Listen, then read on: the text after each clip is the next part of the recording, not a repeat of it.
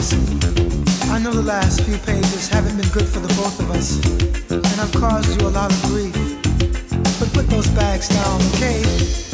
Before you make a decision like that, please just listen to me, because I don't want you to leave. I definitely don't want you to leave. Just hear me out.